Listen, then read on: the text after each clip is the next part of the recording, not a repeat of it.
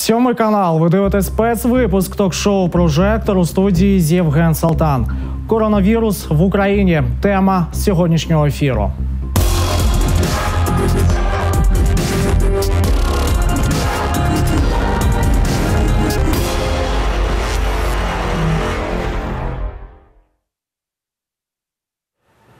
І я вже готовий запросити гостей сьогоднішньої студії.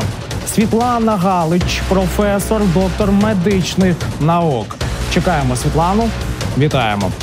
Ірина Потоцька, громадська діячка. Світлана Кінарьова, лікар-імунолог, педіатр. Теть, е, будь ласка, сюди, сюди, Ірина. Ви, будь ласка, сюди. Тетяна Малик, педіатр.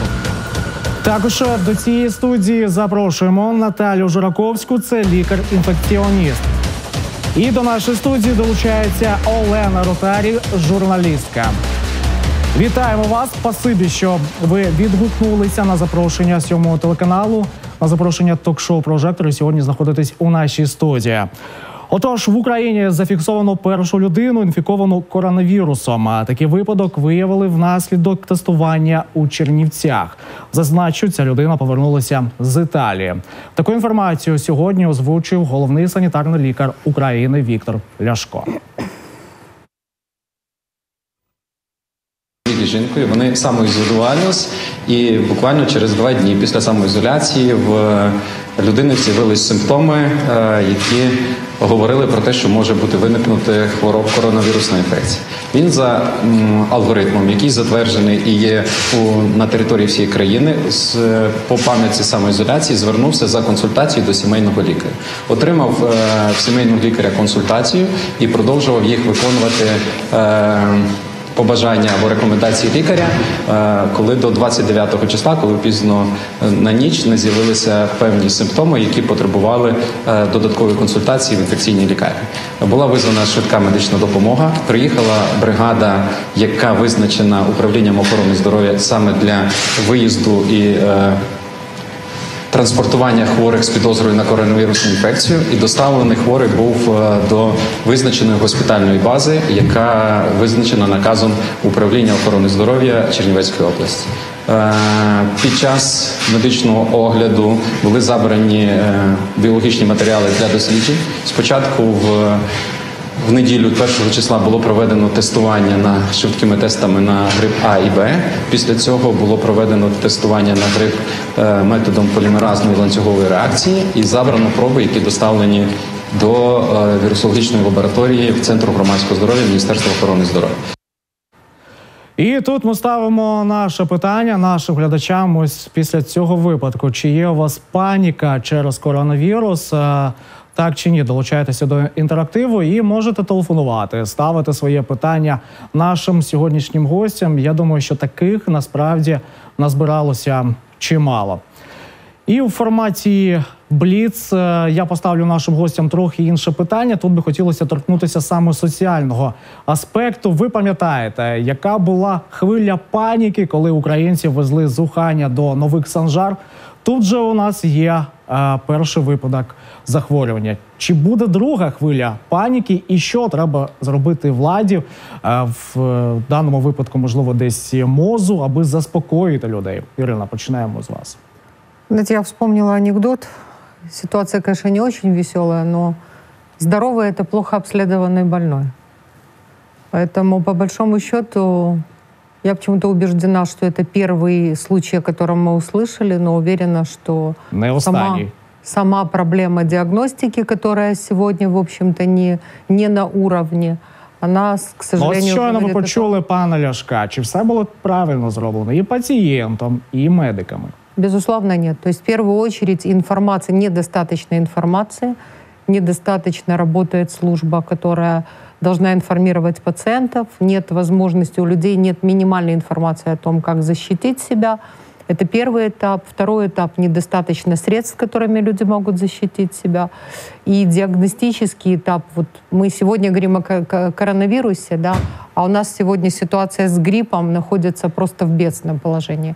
Ну и, к сожалению, вопросы э, нашей привычной советской да, действительности медицинской, когда мы скрываем реальную летальность и ее причины. Або лікуються народними методами, знаєте. Може таке бути. Ми зупинимось на профілактиці, Світлана. Мені здається, що зараз вже паніки ну, не має бути, тому що перша паніка вона була е, такою, е, на мій погляд, з приводу того, що дуже багато було до цього різної інформації, що ми ні до чого не готові, що в нас все порушено і так далі, і тому подібне. А зараз І готові, тому, як ви думаєте? Звичайно, вже люди трошки трішечки підготовлені. Люди вже розуміють, що до чого, не всі, але все ж таки якась інформація вже пішла. В лікувальних закладах зараз є вже якісь а, такі постери з е, якимись мінімальною інформацією. І тому мені здається, що зараз е, ну, люди більш е, притаманно мають віднестися до того, що відбувається. Це по-перше. По-друге, е, дуже важлива ще роль медичних працівників у цьому. Справа в тому, що медичні працівники також, які не від не мають до відношення, наприклад, до інфекцію до інфекційних хвороб, вони також були мало інформовані. Але е, саме велика паніка в нас була в 2009 році, коли дуже багато вагітних помирало від цього. Сьогодні, е, впродовж цих всіх років, вже була відпрацьована система, е, логістика, маршрути е, вагітних жінок, які мають коли, куди звертатися. І тому в мене є така надія, що все ж таки зараз буде дещо по-іншому. Більше того, зараз ми вже маємо практику, коли певні кроки зроблені для того, щоб вагітні своєчасно звертались. Для мене це важливо. Мені здається, це дуже важливим. І оця інформованість, вона ще дійсно, я згодна з Іриною, недостатня, е, але ж вона все ж таки є. Ось бачите, почули двох е, гостей абсолютно різні погляди. Ірина сьогодні десь скептично, я так думаю, буде ставитися. а Ви більше оптимістично Так. налаштовані. Подивимось, Світлана.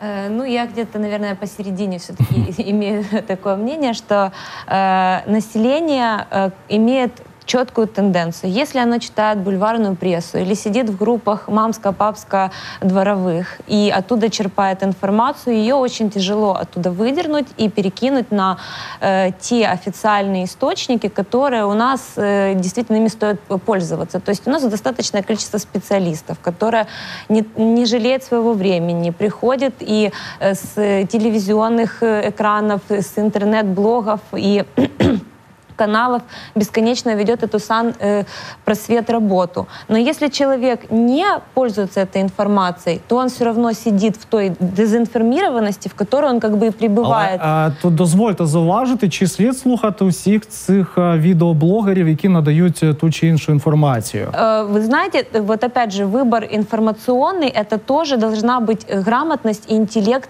э, человека, который занимается поиском информации. К- Любой, кал- касательно любой информации, и политической, и биологической, какой-то специальной, и любой. И если вас интересует, например, тема медицины, то вам нужно, естественно, ориентироваться на людей, хотя бы имеющих медицинское образование выше. Если они имеют высшее специальное образование, это вообще уже бонус плюс замечательно. Знаєте, у нас зараз у Ютубі кожен другий спеціаліст. І ось Е. таких можна наслухатися і завдати шкоду своєму здоров'ю. Э, У нас сегодня министр не имеет образования. медицинского. Это да. К сожалению, к сожалению, это имеет место быть, но э, в- никто не отменял э, и з- как- и при- принятие решений и взвешенное Чи принятие. не краще, якщо з'являються такі симптоми, одразу телефонувати сімейному лікарю? Вы понимаете, на, при- на- на сегодняшний момент то, что произошло в мире, да, э, новый совершенно вирус, ну то есть он новый старый, новый подвид этого вируса, да, был выявлен, и по, в достаточно в кратчайшие сроки э, мы имеем уже достаточно много информации, какое его поведение, как он держится в среде, чем его можно частично останавливать, да, какие барьеры мы можем устанавливать, это уже большой плюс, который, которым мы обладаем. Большой вклад сделал в это, конечно, э, э, Китай, который кинулся и так э, массивно организовал весь этот процесс. Это здорово. Есть моменты, которые мы еще не знаем, но они существенны, э, уже как бы детали, ну, их нужно детализировать. Если э, эту информацию распространяют официальные источники. Та же Всемирная организация здравоохранения очень много выпускает э, информационных проспектов, э, брошюр, коротких, коротких информационных, чтобы человек прочитал клипово там 10-15 правил, которые ему нужно использовать. Их нужно просто найти и прочитать. Э, ну, допустим, в той среде, в которой я ориентируюсь, э, мои коллеги э, распространяют достаточно достоверную информацию о том, э, какая на сегодняшний момент уже известная информация, она достоверная. К сожалению, бывают случаи, когда мы даже среди своих коллег э, ну, видим проявление э, такой вопиющей иногда просто безграмотности. В чому вона проявляється? Ну, она проявляется в недостоверной, в недостоверной информации. Да? Давайте одразу, що а, Ну, например, являється когда, недостовірною інформацією. например, когда э, мы не будем говорить кто, да, говорили, э, говорили о том, что в Украине есть вакцина от э, коронавируса.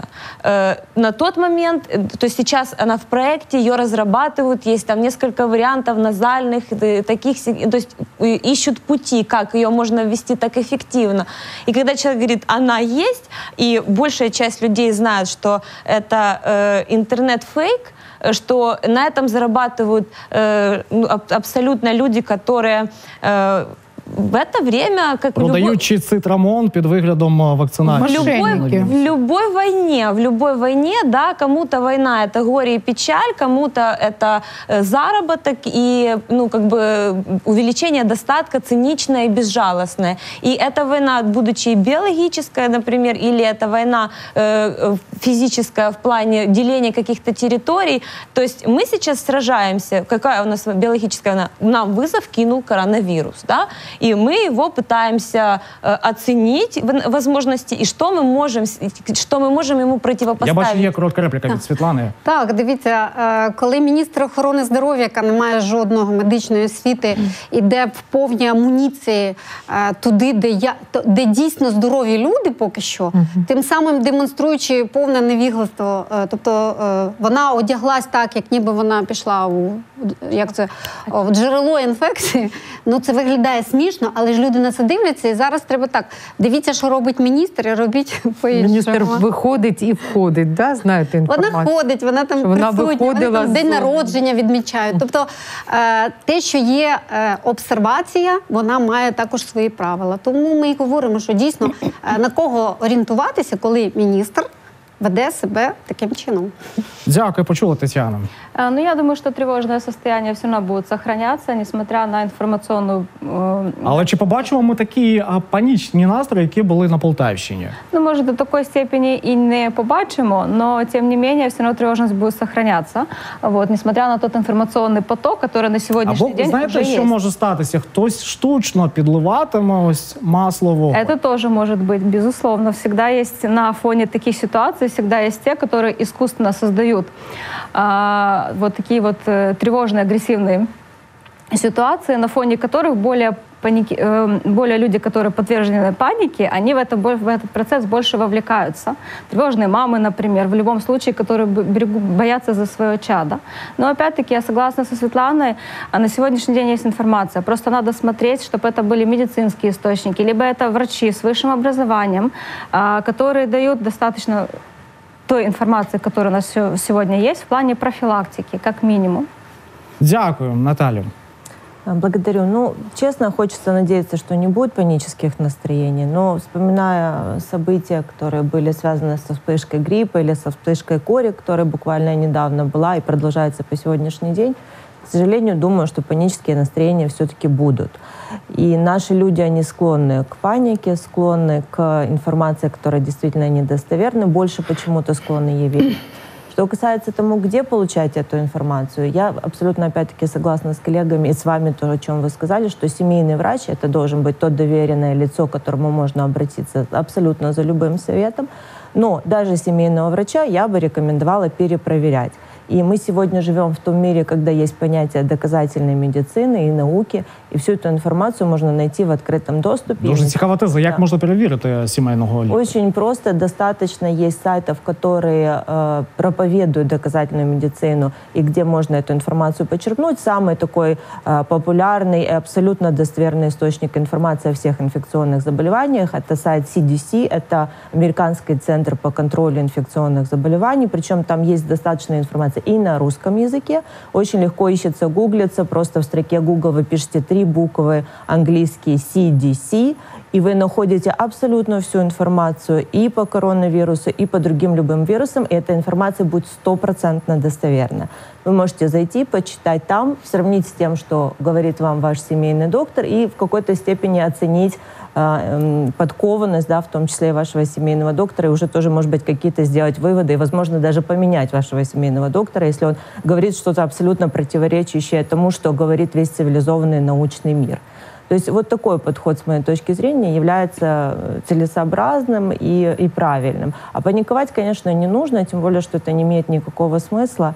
И мы на сегодняшний день у нас достаточно информации, и не так страшен черт, как его малюют на самом деле. Як показали події е, дв- двотижневої давнини, не все знають про коронавірус, але все ж таки я схиляюся до думки, не все так просто. В тій ситуації було. Воно ви кажете про паніку. Мені здається, зачасту панікують саме політики, які передають ці панічні настрої українцям.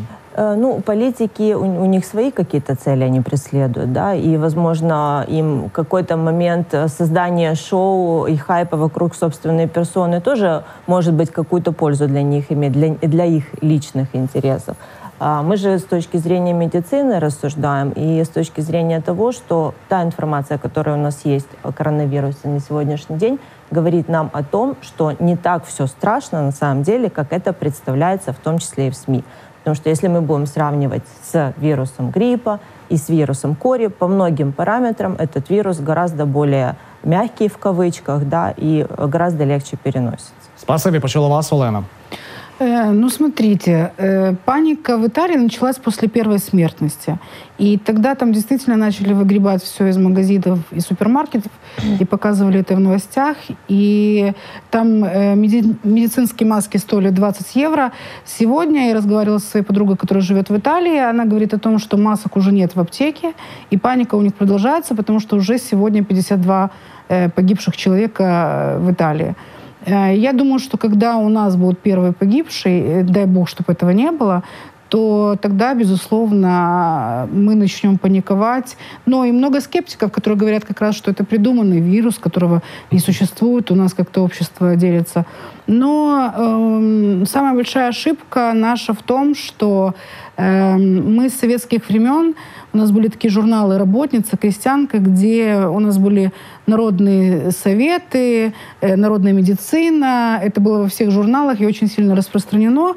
И сейчас главное тем людям, которые хотя бы почувствовали какое-то недомогание, естественно, обращаться сразу к доктору, а не лечиться содой и всем остальным, то, что нам э, в интернете предлагают э, сайты-сборщики, да, я их так назову, э, сборщики информации, а, они как раз на вот этом, о том, что там сода победила рак и все остальное, я думаю, что у нас сейчас много появится подорожников и всего остального, и нам нужно будет, конечно, безусловно, прибегать к доказательной медицине и эм, как я недавно смотрела ролик после Санжар, э, журналистки наши, которая говорила о том, что я приложу горчишники, накапаю йодом, и все, я выздоровлю.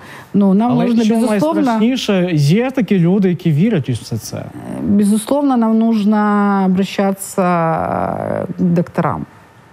Ну, потому что это не изучено. Мы, мы не можем говорить о том, что, да, к- как оно лечится, и что кто-то говорит о том, что, ну, вот, э, то, что э, Всемирная организация, да, писала о том, что антибиотики могут быть неэффективны в данном вирусе. И ты должен, безусловно, доверять э, доктору, то, что тебе там э, скажут и какое лечение назначат, либо изолируют, либо не изолируют. Так, тому тут саме зараз буде репліка. Велике прохання до наших е, глядачів. Будь ласка, фільтруйте всю інформацію, яку ви е, Споживаєте стосовно коронавірусу, і радимо дивитися сьогодні ток-шоу. Я думаю, ви винесете для себе багато корисної інформації. На даний момент покажіть, будь ласка, попередні результати інтерактиву. Чи панікують одесити жителі області через е, коронавірус? На даний момент 71% е, глядачів не панікують. А 29 все ж таки поки що піддає, піддається панічним настроям. Я би хотів, аби під кінець ефіру ось цей показник тих людей, які голосують за те, що піддаються паніці, е, значно зменшився. Я думаю, наші гості сьогодні в цьому е, допоможуть. Е, Хотілося б це вірити. І нагадую, є номер студії. Телефонуйте. Я думаю, питань у вас назбиралося багато. У вас є унікальна можливість поставити їх е, тим е, спеціалістам, які сьогодні знаходяться у нашій студії. Так, була репліка. Е, Щодо лікування, самолікування, то дуже важливо розуміти і говорити е, населенню людям про те, що якраз вірусні інфекції не лікуються антибіотиками. І це велика наша проблема взагалі нашої країни, бо ми країна з безрецептурним доступом до ліків. І якраз при вірусних е, інфекціях е, антибактеріальна терапія може призвести до е, зворотного ефекту, тобто до зниження імунітету, до формування, до формування антибіотикорезистентності. Е, чим страшний взагалі коронавірус з клінічної точки зору? Не, не сам вірус, а пневмонія, так? Ті ускладнення, які він викликає. І в тому випадку, коли це пневмонія, вона це тільки лише лікар може визначити, якщо вона не має бактеріального компоненту, тобто якщо немає мікробного фактора поки що, то це звичайно антибіотиками не лікується. А у нас люди привикли, звикли піти в аптеку, купити антибіотик і розпочати лікування. Оце ми маємо зараз говорити всі, як би ми до цього не відносили, що люди не мають займатися самолікуванням. Все. Дякую. Є репліка від Олени. А, Я хотела сказать о том, что э, панические настроения, да, и э, попытка добиться необходимого результата, необходимого совета э, от врача, необходимой информации, это совершенно разные вещи. Поэтому одно дело неконструктивная паника, другое дело активные действия для предотвращения всего. И я хочу сказать, что у меня, например, как у общественного деятеля, сегодня задача не только, которая связана с пациентами, но и с врачами в том числе.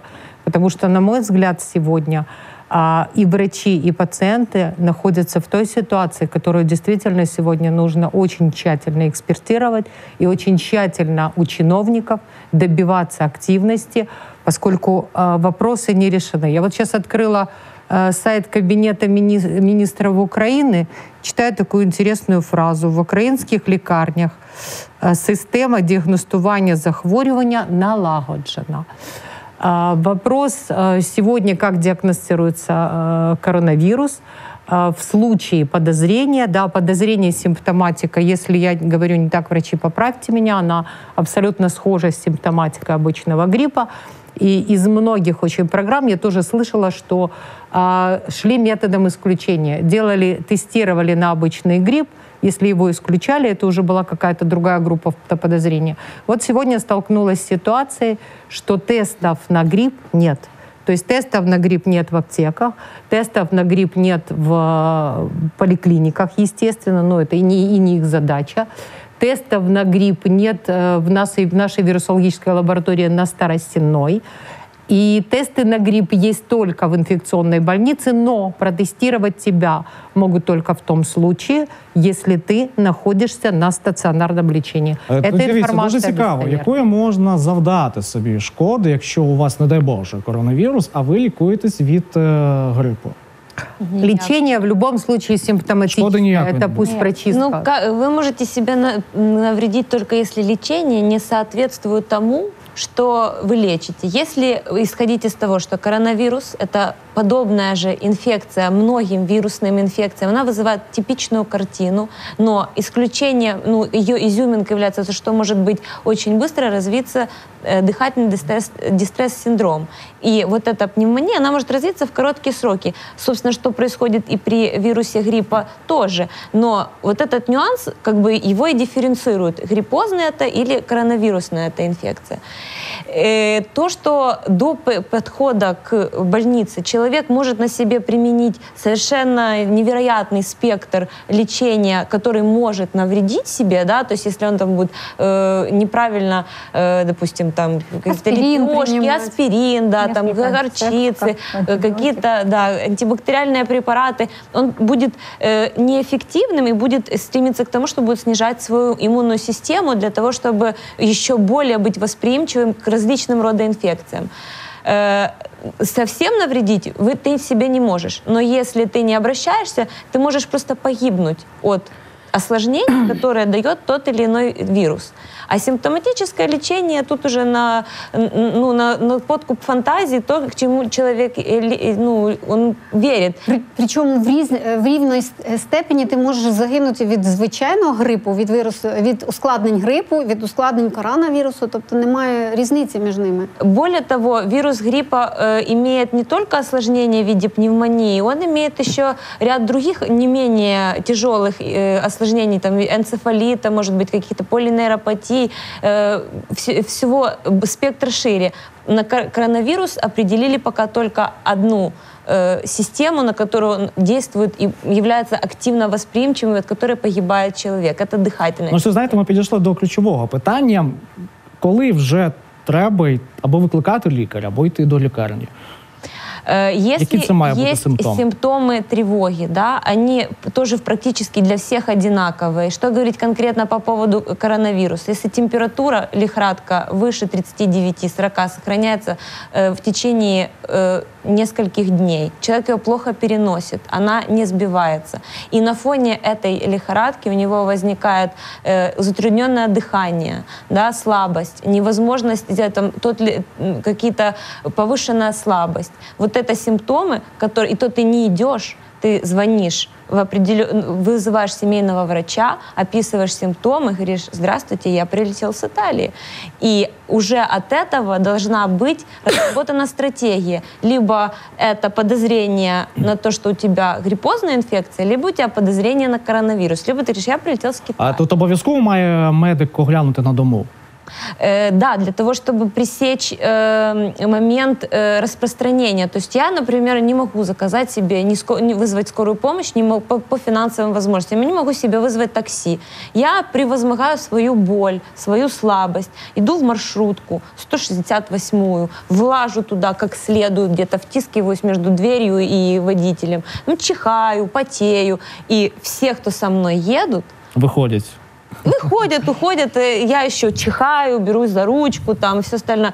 Так, і... з одного боку, це звичайно десь можливо смішно, але ну, але это... ж ви і наражаєте на, на небезпеку інших. Конечно, человек, который таки, такой выбирает себе опыт ну, себя доставки в э, лечебное учреждение, он заражает большое количество людей. Все. И уже он не один болеет, а будет уже под угрозой там 40 набившихся человек, которые ехали и думали, как отчет сдать или как в школе э, контрольную написать. Ну, одного таксиста тоже жалко, да? Одного таксиста тоже. Поэтому существует логистика, да, которая подразумевает... Врачей что... скорой помощи не жалко, да? Никому. Врачей скорой помощи, они самоотверженные. Но, опять же, у нас... Но они ж клятву Гиппократа давали же. Болезненная фраза, да, для многих. Любимая фраза. Э, но сама суть в том, что человек, который приезжает на скорой помощи, эта бригада должна быть оснащена таким образом, чтобы она могла быть невосприимчива к вирусу, да, то есть до ней должна быть амуни... Как министр наш. А, а можно вот сразу как бы вот с точки зрения телезрителя, mm. а, в данном конкретном случае, если мы говорим о логистике, бригада скорой помощи сегодня а, входит в стратегическую группу, которая в случае, если пациент сам у себя заподозрил, должна приехать на подобный вызов? Или все-таки на этот вызов приезжает семейный врач? Э, начинается все с семейного врача в любом... Я думаю, что здесь зависит от ситуации, от Нет, того состояния, в котором находится много. этот пациент, То есть, если о высоко, том, в каком если... времени, конечно, угу. в какое время суток, какое состояние. Если это реанимационное состояние, понятно, что не нужно ждать семейного доктора.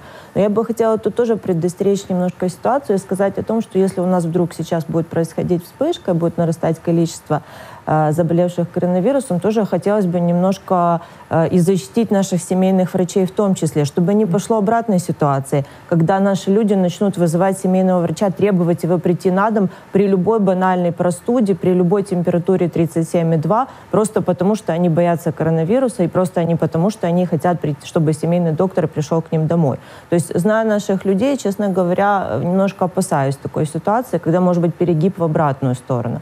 Мы должны четко понимать, что на сегодняшний день определена группа риска по отношению к коронавирусу. Это пожилые люди. И статистика смертей говорит нам о том, что большая часть умерших, погибших, 80% это люди старше 70-80 лет. И почему такое количество погибших в Китае? Не только потому, что там очень плотная населенность, но и потому, что там большое количество долгожителей. А, в Украине не так много таких людей, и они не настолько социально активны. То есть они не, не настолько вхожи в места публичные и большого скопления людей, они не особо ходят по супермаркетам, театрам, циркам и так далее. Поэтому все-таки будем надеяться, что неблагоприятной ситуации в нашей стране не будет, э, так как было в других странах. Но все-таки эти люди в зоне риска, мы должны понимать, потому что люди пожилые, они имеют уже сопутствующие заболевания. Как правило, это сердечно-сосудистая система, легкие, сахарный диабет и так далее. Все эти сопутствующие заболевания, они являются неблагоприятным фоном. И вот к ним нужно отнестись с особым вниманием. То есть если такой пожилой человек заболевает, у него высокая температура, кашель, какие-то признаки, ему тяжело дышать и так далее, вот к такому больному однозначно должен прийти семейный доктор. Если это ребенок или молодой, взрослый, э, благополучный во всех отношениях человек, у которого температура 37,5 и насморк, все-таки пускай он побудет пару дней дома, изолирует сам себя, так называемая самоизоляция, обильно пьет, проконсультируется по телефону со своим семейным доктором, и если никаких угрожающих симптомов нет, то э, будет под наблюдением. Потому что если мы сейчас всех семейных врачей мобилизируем на 37,2, то у нас произойдет коллапс в стране. Поэтому призиваю всіх как би к благоразумію. Мені здається, зараз буде підвищена активність е, виклику сімейних лікарів після цього випадку. Будь ласка, Олена. Сегодня, когда выступала главврач э, э, больницы, куда госпитализирован э, пациент, она говорила о том, что как раз... Так? Да, в Черновцах. она говорила как раз о том, что у него температуры нет. У него только жалобы на сухой кашель. Температуры там не было. Угу. Ну, ну действительно, а могут я быть правильно, я правильно понимаю, что вы детский врач? Да, Скажите, а вот на сегодняшний день, допустим, если пациент, если родители вызывают вас к ребенку, у которого, ну, симптоматически, да, вы там понимаете, что по определенным проявлениям может быть э, инфекция. У вас есть что-то? Вы чем-то оснащены? Первый вопрос для себя, да, выдали вам э, на работе Э, респираторы, специальную одежду. Это первый вопрос. И второй вопрос. Вы приходите к пациенту, вы оснащены материалом, с помощью которого вы можете взять у него, допустим, мазки, которые вы потом отправите на диагностику в лабораторию. Потому что, насколько я понимаю, сегодня диагностические исследования проводятся только в Киеве, правильно? Да, да. Вот. Давайте ми почуємо відповідь після дзвінка глядача. Вітаємо, як вас звати? Добрый день, Наталья Карташова. Ну, на один вопрос, который я хотела задать, вот только что задала Ирина, у меня есть другой вопрос. Мы все прекрасно говорим о том, что можно посмотреть в интернете, можно посмотреть в телевизоре. А что делать людям, которые находятся в сельской местности, которые там целый день на огороде на поле, у них нет времени до телевизора, у них нет интернета, и это большая часть Украины. Дякуємо. Дуже слушне питання. Спасибі, хто готовий відповісти. Такие люди с очень маленькой вероятностью заболеют на самом деле. Первое, они находятся на свежем воздухе, они ходят э, в забитых супермаркетах или, или в магазинах и так далее. То есть у них шанс заболеть гораздо ниже. У них физическая активность, что тоже хорошо. Натуральные продукты, которые они сами выращивают. И плюс они не поддаются панике, потому что они не, не видят и не слышат это огромное количество фейков, которые э, вещаются из телевидения. Поэтому этим людям можно на самом деле только позавидовать. Ну, это если в, позитив... в коронавірусу треба їхати до Да, это если в позитивном ключе. А если серьезно, ну это тоже было серьезно, на самом деле, мне кажется, сейчас информации очень много. И, и в газетах наверняка печатают, и медики достаточно владеют э, информацией, ну, чтобы... Ну, газет в селе медицина в селе, это особое. Э, и газет в селе тоже... Но мы должны понимать ключевое, что заразиться можно только от больного человека, причем при достаточно тесном контакте. Поэтому Поэтому, если это бабушка, Але у нас, знаєте, которая селяни живет дуже в заможні селе, люди і інколи можуть собі дозволити подорожувати Європою, в ту В саму таком случае у Італію. них и интернет Но будет. дети их в основном на Западной Украине работают как раз э, это всё э, села за за рубежом и западноукраинские. приезжают э, в села к родителям. Как бы Тут это тоже такое. Когда буквально недавно Радио Свободы показывала сюжет э, женщины, которая автобусом с Италии ездит в Ивано-Франковскую область, где у нее мама просто в селе лежит, и у нее нет другого выхода, чтобы пересекать Так, ну дійсно, тут е, границу. люди з Західної України переважно працюють в Італії. У нас є ще один дзвінок. Вітаємо, як вас звати. Еще раз добрый день, еще раз Наталья Карташова. Вот вы сказали, что в селах свежий воздух и так далее. А вы знаете, что большое количество людей в Бессарабии находится на заработках в Италии? Жены, ма- матери, дети учатся там, приезжают постоянно, ведают своих родителей. И такое количество огромное. И маршрутки с Италии приезжают постоянно. Так что подумайте о жителях в области, а не только о жителях города. Спасибо. Дякуємо. Ну, в власне, любом тут- случае, извините, дело в том, что вот если в- эту передачу смотрят, да, это телевидение, которое охватывает э, И область и тоже. область тоже.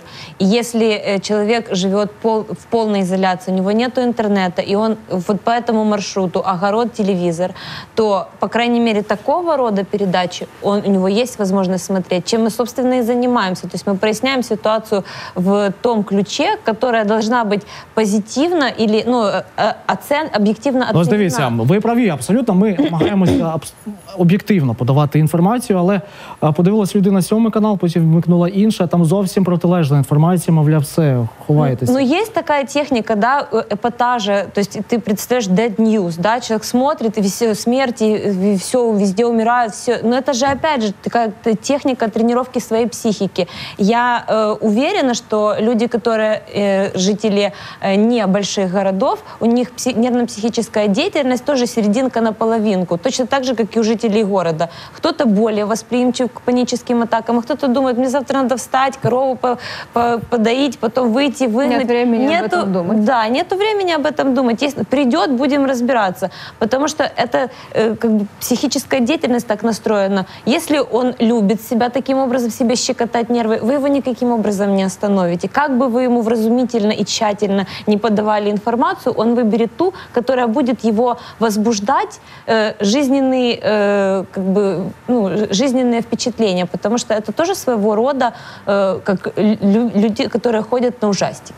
Так, і до питання глядачки, е, до дзвінка глядачки було питання від Ірини Потоцької. Саме вам, коли ви йдете до Что пацієнтів, вам выдали, да? чи є у вас е, Э, засоби захисту? Хороший вы вопрос э, в- вот такой задали. Мне он очень нравится, потому что, к сожалению, у нас э, давным-давно уже нету такого момента, чтобы нам что-то кто-то выдавал. Это хорошо очень звучит, это оптимистично, хочется так, э, э, действительно, чтобы так и было. И э, надеемся, что в перспективе все так и будет. Но на сегодняшний момент э, дело утопающего, спасения утопающего, дело рук самого утопающего. И Тобто ви за медицинские- свої кошти все це а Работник, да, он э, себя, насколько ему позволяет э, его возможности, возможности обеспечивает себя теми или иными средствами защиты. Я правильно Что вас понимаю, касается- насколько позволяют его возможности и его понимание? Ну, То естественно. есть стандарта, да, который, например, которым должен быть экипирован доктор, который идет к пациенту, не существует. То есть это не униформа. Нет, Это ваше собственное понимание. У вас такое, у доктора-педиатра какого-то на другом участке другое. Не- нет, не Нет, совсем а так. Есть определенные стандарты, да, то есть когда мы работаем с обычной инфекцией, да, среднестатистической, с которой мы сталкиваемся, или сезонной, то эти средства защиты не должны быть специальными. Если говорят, я врач-инфекционист, э, говорит, «У вас в- возникла холера, конечно, будет другая эпи- экипировка и другие э, ну, необходимые эпидемические мероприятия, но об этом идет речь заранее. То, что врач с- всегда самая уязвимая категория, и он стоит на передовой того, что у него есть риск заразиться, это было испокон веков. Якщо И вам смерти- телефонує пацієнт і каже, у мене є підозра на коронавірус, які засоби захисту ви одягаєте?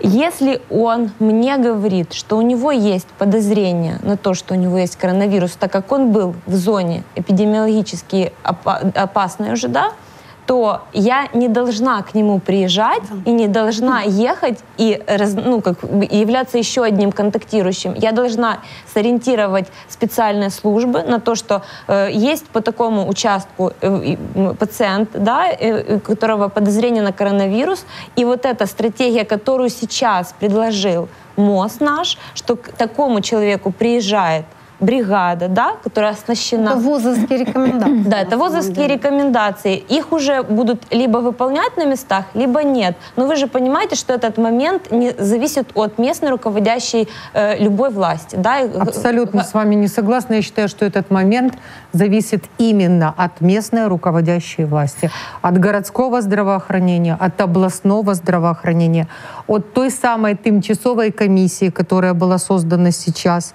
и которая отрапортовала ровно через два часа после сбора о том, что у нас на самом деле мы готовы и принимать, и лечить. О том, что у нас существует определенное количество боксов, которое не соответствовало ни количеству, ни э, направлению, потому что речь шла о детских, вернее, о взрослых боксах, а были только детские боксы.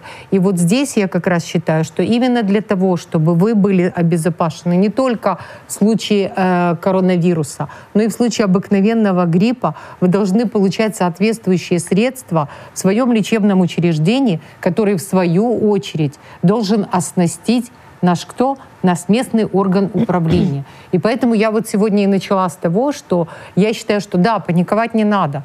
Но я знаю, как сложно. Я, в принципе, слишком много лет проработала в системе здравоохранения для того, чтобы говорить о том, что я не понимаю, как выстроена иерархия и насколько трудно прийти сегодня врачу, допустим, э, участковому, хлопнуть по столу главному врачу и сказать, ну-ка, где там все, что мне необходимо. И в то же время э, также сложно главному врачу произвести такие же действия по отношению к органу управления. Вот для этого мы и есть, да, для того, чтобы понимать эту ситуацию и добиться того, чтобы городская власть, областная вра- власть, которая имеет достаточно немалые средства, поверьте мне, и которые будут выделены 100%, только неизвестно, куда они уйдут. І то знаєте, поки, Позаботилась поки будемо добуватися і о від вас. місцевої обласної влади, А ми вже, час Жень, ні. іде. час Вре- время не идет, мы І действуем. люди наражають себе на небезпеку. Ну, е, Ну- ді- ді- е, результат е, від ваших дій буде тоді, коли ми дійсно побачимо відповідну екіпіровку. Поки що це все на словах, мені здається. Ну, я согласна с вами. Я имею в виду, что пока мы просто получили ответ о том, какие мероприятия должны проводиться. В данном конкретном случае, почему я задала конкретный вопрос, потому что о том, что вы все всем оснащены, мы информацию уже получили. Это вам к сведению. Это хороший момент, и э, что есть информация о том, что всем оснащены. Но речь идет о том, что есть бригады, о которых говорили, да, и вот эта ситуация, например, с коронавирусом, ее очень, она очень хороша тем, что она встряхнула, встряхнула всех. И в первую очередь тех людей, которые э, по каким-то своим причинам, они не выполняли свои обязанности, каким-то причинам упразднили какие-то ветки э, в, том же, в той же системе здравоохранения, потому что на тот момент они считались не очень необходимыми, да, то есть не было реальной угрозы. Сейчас это практическая ситуация, когда весь мир всколыхнуло, то и до нас тоже как бы дошла эта сейсмическая волна того, что да, нужно что-то делать, мы в опасности, потому что как бы, допустим, страну не грабили, не делили, ни э, в каких ситуациях бы она ни находилась, но корабль-то один. И э, врачи будут спасать, и врачей тоже ограниченное Але количество. знаєте, щось робити, мені здається, ми почали після евакуації українців з Уханя.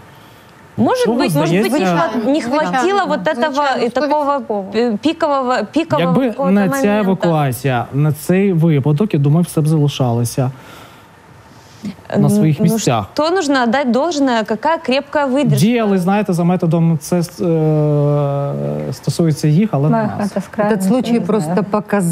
показал, насколько действительно ситуация была не информационно, не организационно, не подготовлена. Он настолько это ярко показал, что Мені знаєте, каждый здається, орган... що і європейські країни десь е, приховують до кінця всю інформацію від своїх е, жителів. Знаете, Жень, я когда написала первый пост в Фейсбуке, возмущенная исключительно безответственным заявлением о готовности нашего региона, были, был ряд комментариев, что типа, что вообще за невежество и дикость, вот Италия, ну, в первую очередь мне приводили в пример в Италию, которая разместила.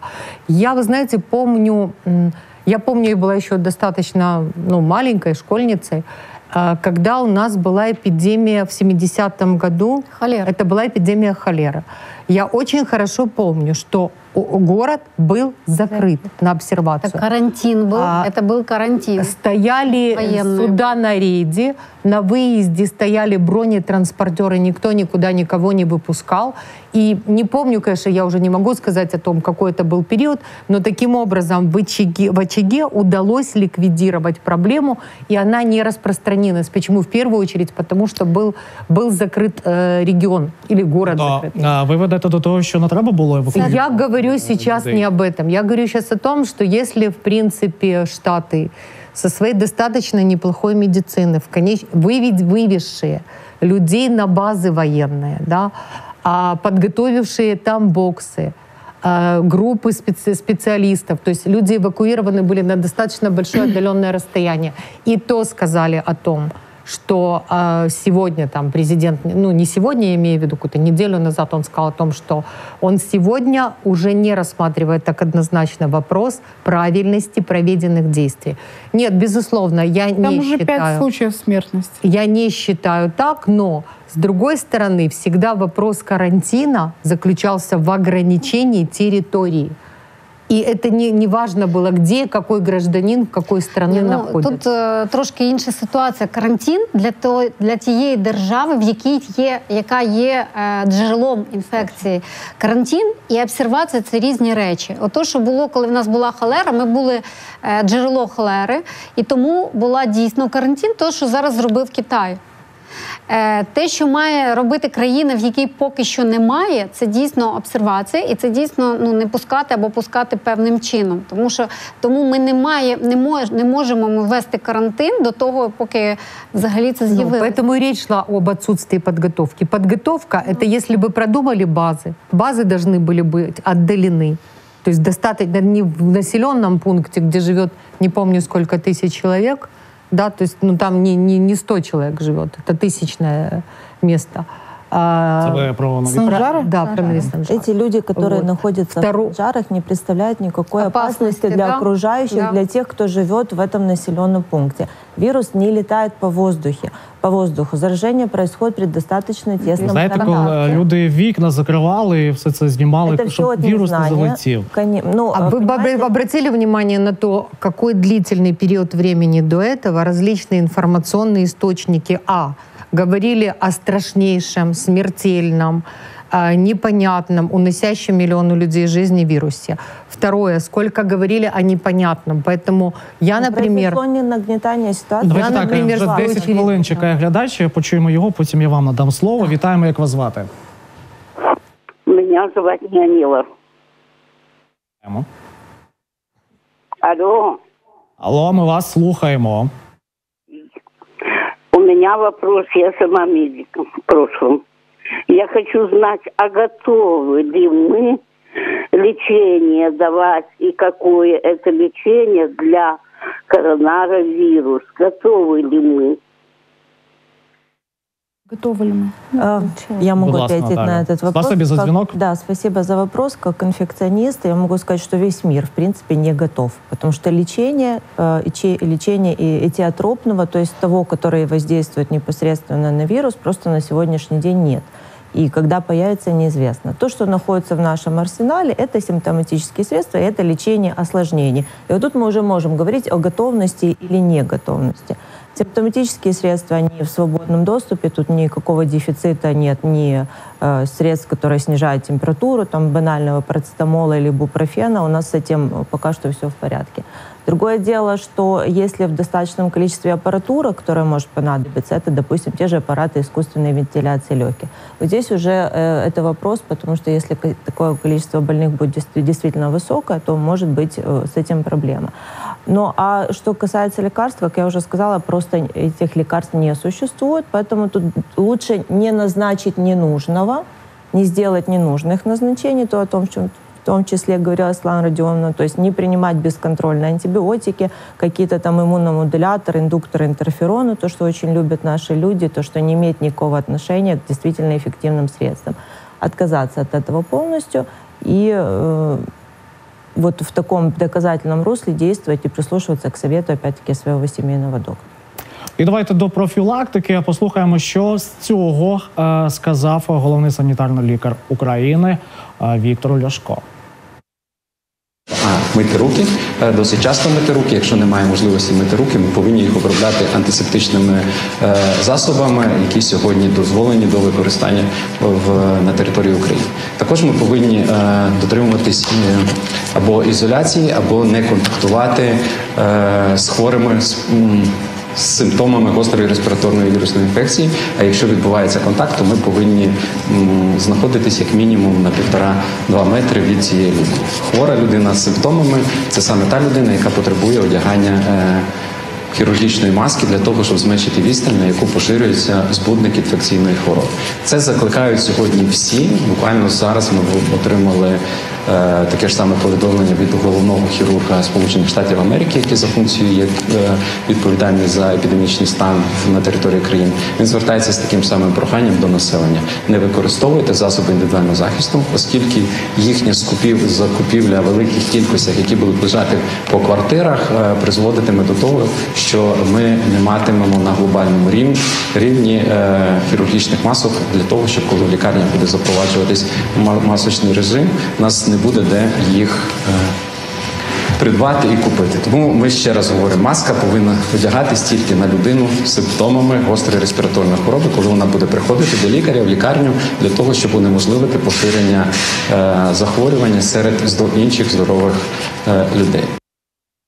І ось тут дуже цікавий момент стосовно масок, і ми саме на цьому зупиняємося. Так дійсно, я хочу сказати, що ми всі бачимо, що перед цим як відбулася ця вся історія з коронавірусом, у нас е, ми підходили до, до підпорогу, і у нас е, е, як це визначили, що в нас е, карантин у лікувальних закладах, і всіх е, зобов'язали носити маски. Тобто ці маски, про які вже говорили, що вони ну, мають бути надіти на ту людину, яка е, хвора, яка кашляє, чи, е, чи і- в неї інші виділені, тим не менш закупили для лікувальних закладів. Всі сиділи кругом в тих масках, і треба було їх кожні там три години змінювати і так далі. Тобто це такий нефаховий підхід, радянський, я б сказала. От маски наділи і ніби щось зробили. Е, попри те, що минулого року, е, минулі роки, пані Уляна Супрун.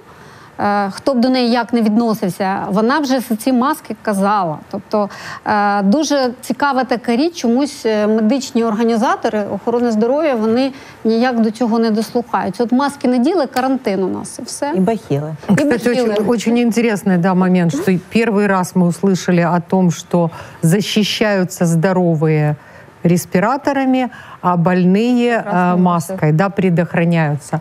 Но интересно другое, что ведь на самом деле вот то, что вы говорили в отношении грамотности врачей. На сегодняшний день даже не все врачи знают это элементарное и простое правило. Как может быть вот такая ситуация, что до сих пор нет каких-то вот учеб, образовательных Есть. Есть, Есть. Є, Просто не є. ходят, да? Представители центров. Не ходят. Просто вчаться одні, а стратегію визначають інші. Інші. Ті, хто не ходить. Тобто я правильно зрозумів, одягають звичайні маски е, інфіковані люди, Да. Нет, да. здорово. Правильно? а здорові, звичайні, а респіратори Врачи, не, не, нет.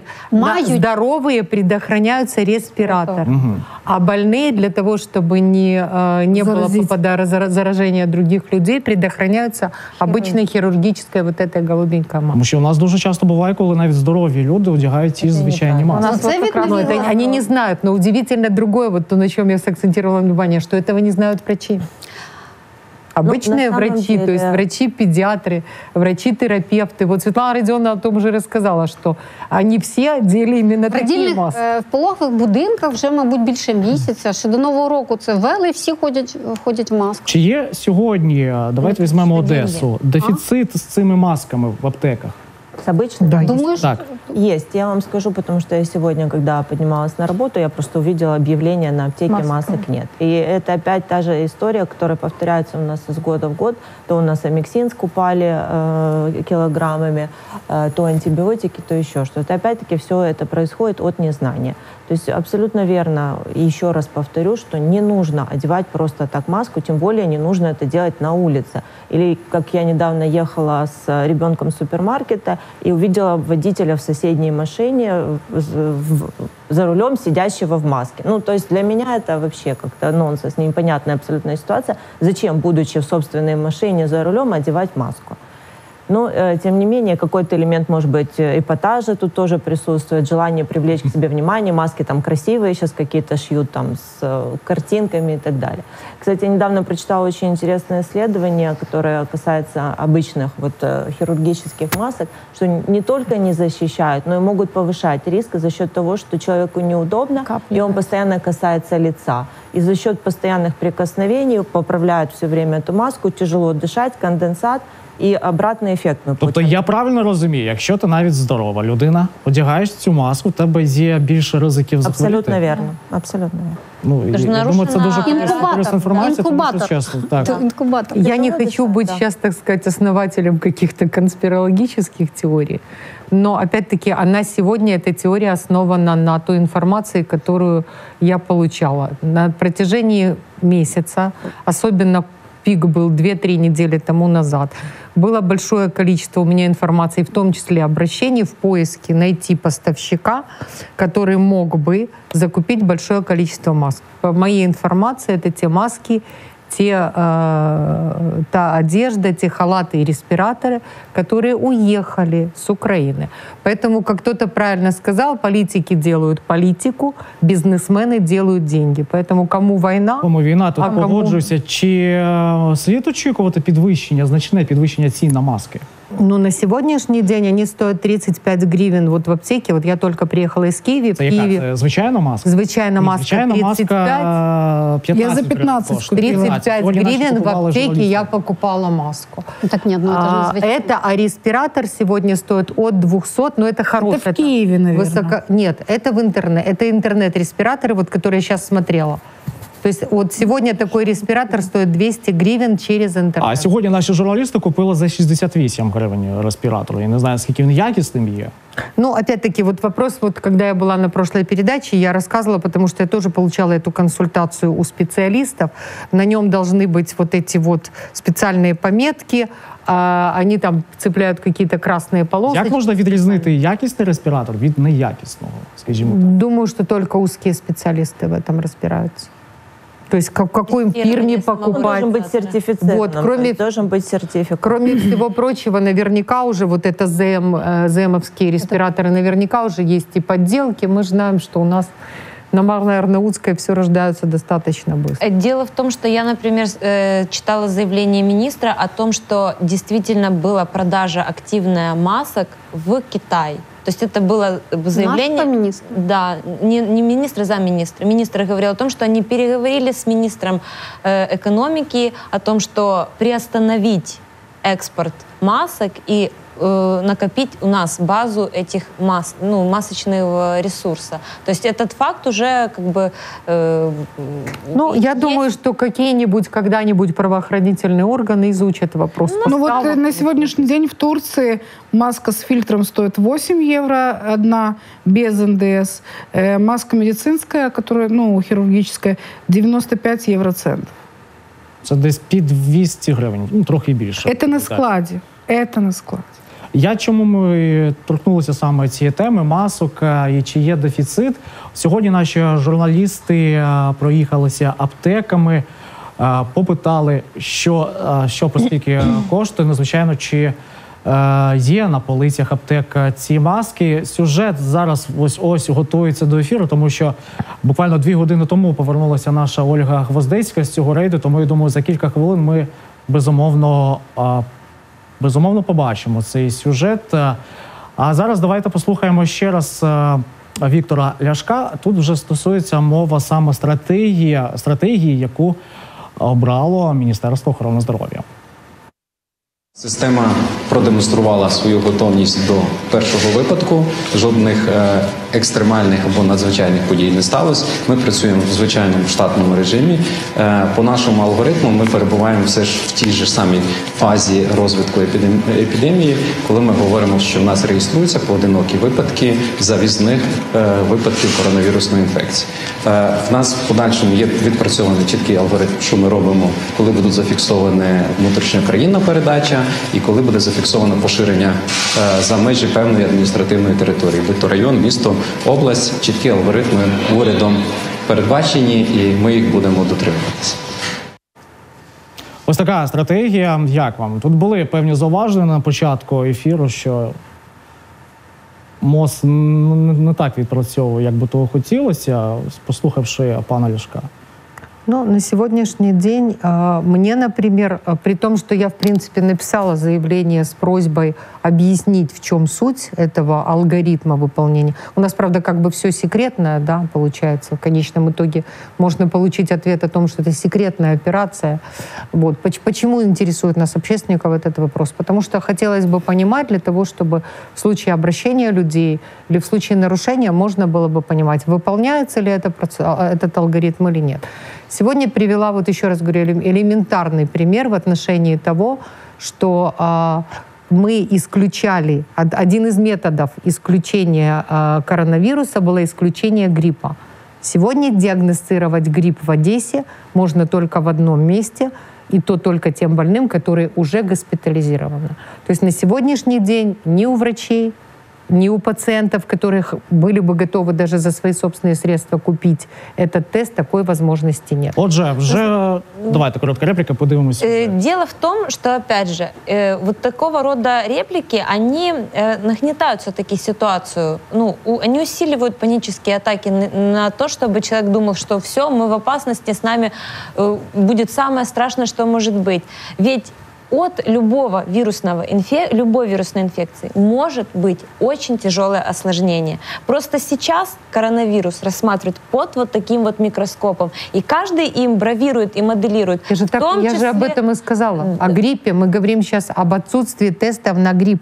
Э, даже если его не, да, вы понимаете в чем дело? Даже если нету у нас э, подтверждения, что это грипп, потому что бывает не вовремя сделан, то есть человек обратился через 7 дней, и то, что он сделает эту тест-полоску, ему не покажет, что это уже грипп, потому что уже прошел длительный срок, уже ты ничего не подтвердил. тогда узнавали, ли, есть ли вакцины от гриппа сейчас в аптеках? Мне вот больше этот вопрос для меня актуален, чем тесты на грипп. А, на сегодняшний день не знаю, но, например, три недели назад был. Потому что еще на самом деле не поздно сделать Да, совершенно вакцинацию верно, от это гриппа, очень актуально. и тогда вам не понадобится никакой тест. Отже, сьогодні моя колега Ольга Гвоздецька проїхалася аптеками і дізналася, які ж ціни на а, маски, і чи е, дійсно у нас зараз є дефіцит з цими засобами захисту. Дивимось далі у сюжеті. Тож коронавірус вже в Україні. Це сьогодні підтвердили у міністерстві охорони здоров'я. Чи є в Одесі паніка чи скуповують в ажіотажі містяни захисні маски? Вирушаємо на контрольну закупівлю до одеських аптек. У першій аптеці на нас очікує розчарування. Масок немає і вже досить давно. Натомість нам одразу пропонують купити нозальні препарати. Мовляв, вони не гірше захищають від вірусів, але ж коштують у 5-10 разів дорожче за маску. Это форт, спрей. Это все в носик, да? Да, захист антивирус. Это то же самое, что маска? Это реально заменяет маску, да? Ну, маска вообще предназначена, если вы почитаете внимательно, она предназначена для людей, которые болеют, чтобы не сильно распространять инфекцию. То есть, когда они чихают, они чихают в маску. А это предохраняет? Да, это создает э, защитную такую оболочку на слизистой, и вирус не проникает. И это касается вот этого страшного коронавируса, которым сейчас всех пугают? Э, Но это барьерное средство. Рухаємося далі. У другій аптеці масок так само немає. І тут нам рекомендують заміну противірусний препарат. Теж досить недешевий. Угу. Как называется? Они не лечебные, это противодействие. А, лофербион. Угу. А сколько они стоят?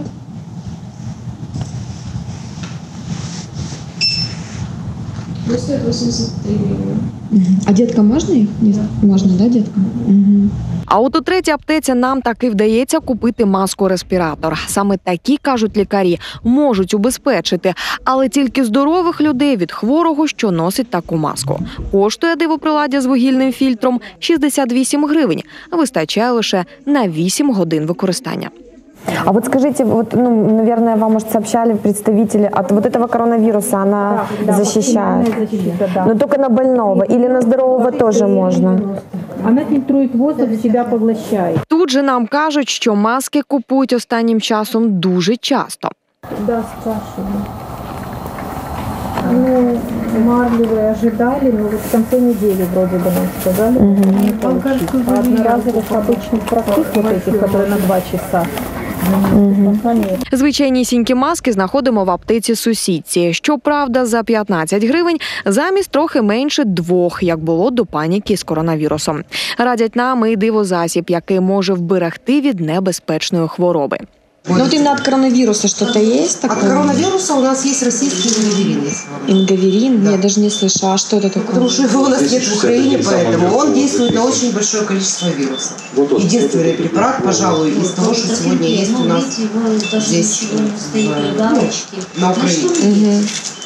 І прямо то над коронавірусом теж може дійствує на коронавірус. Примітно у двох медичних закладах дитячій та дорослі поліклініках в аптеках масок немає взагалі. А в останній точці нашої мандрівки фармацевт проводить справжню консультацію, як вберегтися від підступного коронавірусу. Ну, препарати є, да, є. Прямо от коронавірусу? Вони в комплексі приміняються. Там є технологія, по якій Китай лечить коронавірус. І ці препарати є. 10 в Украине можно использовать. А где посмотреть их, ну, этот список? Вы можете набрать в интернете лечение коронавируса в Китаї. Вам там буде список препаратів. Дізнаємося з консультації про конспірологію навколо коронавірусу. Е, у нас, вообще, честно, в стране полный пофигизм. Министерством здравоохранения. Вокруг уже везде коронавирус есть. В Украине его нет. Ну как такое? Не, ну может сегодня ж быть? подтвердили один случай. Уже подтвердили? Да, ну, в Чер- это Чер- мы, на, мы на Чернівецькой работе области. находимся, мы не, не Ага. слышим. А я утром прочитала в Ну вообще интернете. вот по своей сути. Везде есть, а в Украине нет. Масок нету, э, тестов нету на коронавирус и гриппа нет. Тож загалом ми побували у семи аптеках. В трьох із них нам вдалося купити маски. В чотирьох їх не було і вже досить давно. В одній з аптек Нам вдалося купити отаку маску. Вона називається респіраторна. Як стверджують медики, саме вона захищає від коронавірусу. В інших двох звичайнісінькі або такі маски. До речі, вони коштують вже 15 гривень, а коштували кілька днів тому півтори гривні. І от такі набори, де є халат, шапочка та також звичайна маска. Тож дуже дякую своїй колезі Ользі Гвоздицькій, яка сьогодні інспектувала аптеки. Багато е, важливої і корисної інформації ми почули, але давайте е, розпочнемо з цих засобів від е, коронавірусу. Я, судячи з вашої реакції, е, спостерігаючи, здивувала вас ці засоби. Захотіла одразу купити, я так думаю. Ну, честно, у меня ощущения от этого сюжета очень э, такие грустные, очень грустно. Но грустно не от отсутствия масок в этих аптеках, а от присутствия этих фармацевтов в Этих аптеках, честно говоря. Потому что это такого непрофессионализма, у- уровень ну, просто очень неприятно, честно говоря, такое слышать от своих, по сути, коллег. Мы все а, работаем в одной сфере. А, никаких ни профилактических, так называемых противовирусных, ни тем более средств для лечения э, коронавирусной инфекции на сегодняшний день не существует. И те названия, которые прозвучали, даже не хочу их повторять, чтобы это, э, чтобы наши зрители не запомнили, не дай бог, эти названия, конечно, никакие эти препараты не действуют. А Что касается какого-то спрея, о котором шла речь в начале, я не, не расслышала название, но если речь идет о солевом растворе, то, в принципе, это может быть использовано, но не прицельно от коронавирусной инфекции, а в целом для увлажнения слизистых оболочек, так как мы знаем, что есть такое понятие, как местный иммунитет, это в том числе и носовая полость, и ротоглотка. Э, Там присутствуют специальные клетки, которые первыми встречаются с вирусами, с бактериями, они как бы на страже, и поэтому, когда наши слизистые оболочки в хорошем состоянии, мы более защищены. Поэтому э, Он, поддержание... он сухой, он не мокрый. А, ну, Он я, я не знаю, о чем делается речь вот там, такой а вот шик, и такая если- идет как- Да, если говорить о конкретно уже о профилактике, то это поддержание нормальной температуры в помещении, хорошей влажности, то есть должна быть хорошая влажность, и это увлажнение слизистых оболочек, в том числе солевыми растворами. Если речь шла о солевом растворе, то я его полностью поддерживаю. Если это какое-то э, волшебное чудо-средство, которое... Антивирус. Антивирус, то, конечно, нет. Я не знаю, правда, яка ціна того засобу. Я думаю, що не дешево воно коштує. І тут все ж таки найстрашніше. Я думаю, що є люди, які купують його масово. Ну, воно не страшно, воно ж не, не шкодить, просто воно неефективно. І воно е, змінює увагу на інші речі. Здається, таке складається враження, що це нібито допомагає.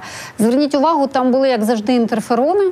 Які вже багато років у нас в країні позиціонують як противірусні засоби, що, що, не є, що не є дійсністю і що не доведено доказової медицини, а коштують вони певні, ну не такі маленькі кошти. Але в мене є, от е, попри мій оптимізм, е, в мене є ще песимістичні е, такі думки зараз, коли я дивилася цей сюжет. Е, добре, що ваша е, що наша кореспондент не пішла і не попитала деяких лікарів. На жаль, такі, е, такі поради іноді дають лікарі, і оце саме страшне, що ми маємо зараз. Те, те, що ви казали, що має бути інформація е, перевірена, і оце також е, дуже сумно, трагічно. Маєте особенно увазі введите в ці- гугле лечение коронавируса в Китае. Ці поради, які надавали Оксалиновая мазь. Так, на жаль, я е, зіштовхуюся іноді з е, коли пацієнтка приходить і приносить, е, що і лікар написав, то ми таке, на жаль, теж Взагалі бачимо. Це компетенції е, фармацевтів видавати певні поради. Ні, звичайно, ні, жодним чином. Фармацевт може дати пораду з приводу такого, як якщо немає якоїсь якоїсь е, форми, е, то якою можна замінити. Але ми зіштовхуємося також е, з тим, що іноді такі поради, що вони не клеються. Тобто е, схожі за назвою препарати рекомендують замість цього. Але те, що ми зараз бачили, дійсно це не їх компетенції. Ми бачимо, яка, яка якість цих консультацій. Але ж ви розумієте, що це бізнес, е, і головне завдання фармацевта продати якомога більше медичних засобів е, і препаратів. І тому я думаю, що Там, де е, є е, цікавість бізнесу, медицина безсильна, на жаль. Это правда. А, а ще страшніше є цікавість політиків. Коли політики щось хочуть розмухати, то тут медицина вже зовсім безсильна. Есть еще, есть еще одна очень серьезная проблема, вот из тех, что Светлана перечисляла, да, это очень серьезные проблемы, на которых делаются и деньги, и делается политика, и здесь как бы здоровье людей никому не интересно. Но есть еще одна проблема, это отсутствие у нас медицинской культуры и социальной культуры. А, причем это элементарные вещи, когда, например, родитель а, отправляет своего ребенка в школу с температурой ка- кашляющего, чихающего, либо сам идет на работу, а, чихая, кашляя, разнося это. И если а, мы говорим о том, что, допустим, там в определенный период времени, это сейчас только вот, в общем-то, начали пропагандировать другую культуру, да, отношение к себе и к окружающим людям. А раньше человек, который шел на работу больной, это был патриот своей работы, поэтому таких людей ценили, у них был особый статус, к ним было особое отношение. И поэтому вот это отсутствие культуры и сейчас попытка это компенсировать, это же быстро не происходит. Это должны вырасти поколения с другим отношением. А, Потому что я думаю, что вот здесь э, господа медики не дадут соврать, что одним из самых элементарных э, лечений это покой, постельный режим, э, питьевой режим, и тогда не надо, возможно, будет прибегать даже к противовирусным средствам, не только у неизвестных, да, там, допустим, у известных и, и каких-то вирусов.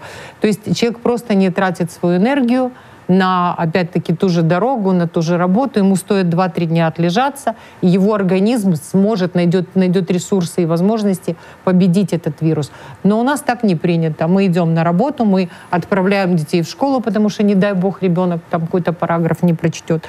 А вслед за этим, таким образом, и образуется, в общем Ви знаєте, мені дуже подобаються попередні підсумки нашого інтерактиву. 81% наших глядачів не панікують через а, коронавірус. Я думаю, е, це завдячуючи вам, вашій позиції, тому що якби сьогодні ми зібрали тут політиків, будьте впевненими, результати були б з точністю до навпаки.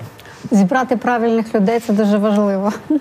І ми розпочали нашу програму з панічних е, настроїв. І сьогодні я телефоном поспілкувався з народною депутаткою України Євгенією Кравчук, і вона зазначила, що підстав для паніки немає. Давайте послухаємо фрагмент. Е, Підстав для паніки немає, е, Бо ну в принципі такі ем, от певні епідемії вони час від часу ну, це не епідемія. Це в нас поодиночний випадок. Але якщо говорити там про Китай, то там можна сказати, да, що там е, епідемія. А це ну доволі ем, там циклічний такий е. Там згадайте свиний грип, е, зрештою і, вакцину е, знайшли, і е, в принципі і паніка припинилася. Тому ем, звичайно краще, щоб імунітет е, був на високому рівні, краще випити якісь там попити е, вітаміни, бо е, в принципі е, найбільше е, найбільш такі ризиковій е, зоні це люди старшого віку е, з уже там е, здоров'ям, або люди, які страждають е, е, там від якихось. Хвороб, які пов'язані з органами е, дихання, в будь-якому випадку не займатися самолікуваннями, е, бо у кожного є практично вже сімейний лікар. Потрібно звернутися е, до нього, і він е, буде призначати лікування. Тож у нас залишається буквально 5 хвилин, і хотілося, аби ми закінчили все ж таки на позитивній хвилі, не залякували населення, тому що воно і без нас е, залякане. Давайте ще раз ми нагадаємо нашим глядачам, що робити в тому випадку, якщо, не дай Боже, у вас там є симптоми коронавірусу.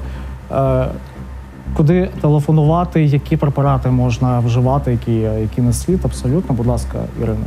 Мне бы хотелось, чтобы начали врачи, потому что это не наша сфера. Я уже Давайте, закончила. давайте почнемо з Світлани. Тоді з мене так. Е, Перше, не панікувати дійсно. Це про що ми казали. По-друге, звичайно, якщо це не важкі симптоми, не висока температура, не тривалий перебіг, то е, е, не панікувати, звичайна гігієна, самоізоляція можлива. А потім, якщо є якісь інші перестороги, тобто висока, вище 37,5 температури, я все ж таки казала б не про 40 е, градусів, а десь вище 38, мабуть.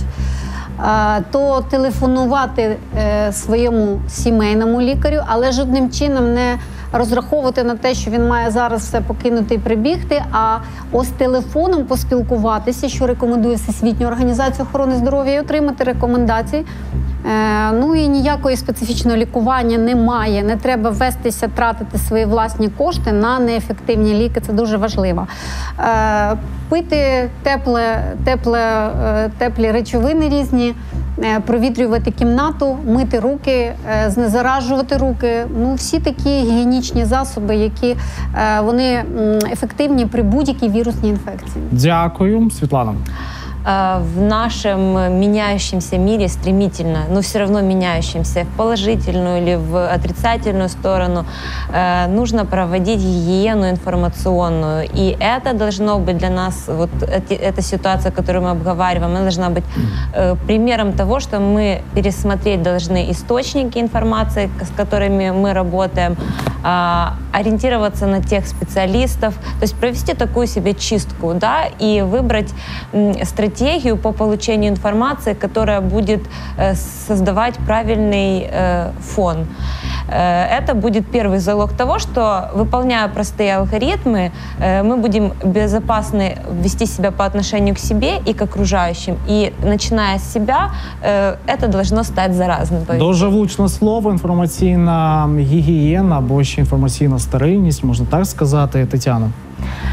Если вы уже заболели, опять-таки, по возможности изолировать да, себя. Если дома есть дети, опять-таки, это отдельная комната, частое проветривание. Это если вы контактируете с кем-то, опять-таки, респираторный этикет в плане использования вы чихнули, покашляли, это салфетка, тут же выкинуть, обработать руки э, средствами ну, дезинфекции, либо помыть, либо э, чихаем, кашляем в локоть. Спалювати серветку не треба. Нет, таких, тем более дома нет, не стоит. Если вы чувствуете высокую температуру, которая тяжело сбивается, 38,5 и выше, а, сильная миалгия, если такая температура сохраняется 3 дня там, и более, появляется кашель, э, тяжело дышать, опять-таки, э, это либо вы самостоятельно обращаетесь в лечебное заведение, учреждение, да, либо вы звоните своему семейному доктору, либо если это ребенок, педиатр. Дякую, Наталю. Я присоединяюсь ко всему, что уже сказали коллеги. Единственное, я хочу от себя добавить, полюбите себя. Если вы заболели, останьтесь, пожалуйста, дома, оставьте больного ребенка дома, никуда от вас ваша работа не денется, всех денег не заработать. И если завтра вы окажетесь в тяжелом состоянии, вы уже не будете даже думать об этих деньгах, действительно здоровье превыше всего. И просьба к работодателям по возможности более лояльно относиться к своим сотрудникам, действительно позволять им остаться несколько дней дома, полечиться, не приходить на работу и не заражать всех окружающих. І ось ці слова ваші окремо виріжу і опублікую в своєму Фейсбуці. Спасибі, Олена. Э, ну, я как журналист, э, я, наверное, мою часто руки. Э, да, я купила средства дезинфекции, я подарила своим всем друзьям, я купила своему администратору на работе для того, чтобы она тоже обрабатывала, потому что я знаю, что все пользуются общественным транспортом. Ну и, безусловно, обращаться к врачам, не заниматься самолечением. Дякуємо і заключ... заключне слово Ірині. А, ну, все медицинские рекомендации получены, поэтому я просто расскажу о планах. У меня задача изучить ситуацию с боксами в городе Черноморске, с которым нам непонятно, в городе Одессе, в которой тоже должно быть все понятно и с канализационными, и с системой оснащения, и с системой э, аппаратов искусственной вентиляции. Вот. И, кроме всего прочего, изучить работу групп, то есть понять, какое количество бригад специализированных подготовлено для работы с э, пациентами, которые, допустим, возникли, и как будут регулировать эти действия. Поэтому, э, как психолог, я могу сказать, что, безусловно, отсутствие паники и вообще панических настроений у людей – это хороший стимул и для незаражения, и для выздоровления. Однако он не является единственным средством предохранения от инфекции.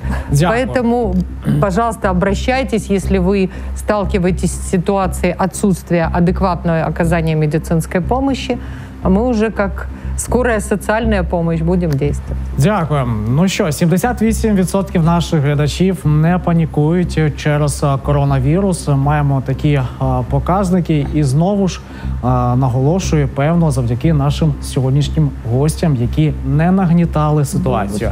Дуже б хотілося, аби наші глядачі зробили правильні висновки з сьогоднішнього спецвипуску прожектора. Головне, пам'ятайте, не панікуйте, дотримуйтесь елементарних правил а, гігієни і пам'ятайте, вакцини від коронавірусу в Україні немає, або, або будь-яких інших медичних препаратів від коронавірусу, які можуть запропонувати в аптеці, як ми сьогодні бачили у сюжеті. Це також все, все шахрайство. Ну і взагалі хочу сказати, що менше думайте про страшні хвороби, хвороби, тоді будете здоровішими. Ви дивилися головне ток-шоу «А, Прожектор. Сьогодні з вами був я, Євген Салтан. Спасибі, що були з нами.